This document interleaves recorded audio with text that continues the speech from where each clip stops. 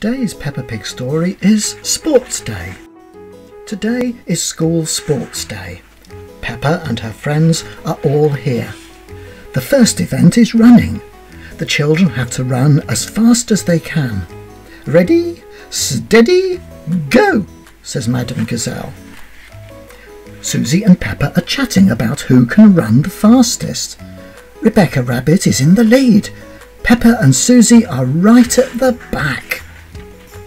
Rebecca Rabbit wins the race. Hooray! Everyone cheers. Peppa and Susie are last. It's not the winning that matters, Daddy Pig reminds them, but the taking part. The next event is the long jump, says Madame Gazelle. George and Richard Rabbit have to run and then jump as far as they can. Whoever jumps the furthest is the winner. Ready, steady, go! Oh dear, Richard Rabbit has jumped further than George. Hooray! shout all his friends. George is not happy, Remember, George, says Peppa. it's not the winning that matters, but the taking part. The next race is the relay. Daddy Pig is in the lead. He hands the baton to Peppa.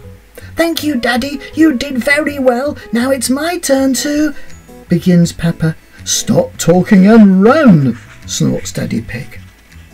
Emily Elephant is the winner. Everyone cheers. Hooray! Peppa comes last. She's not feeling very happy. In the last event of the day, the tug of war, boys against girls. The girls will win, snorts Peppa. Woof! No, they won't, says Danny. Everyone is pulling so hard the rope breaks. The result is a draw. Both teams win, says Madame Gazelle, and everybody cheers. Hooray! I love school sports day, snorts Peppa, especially when I win a prize.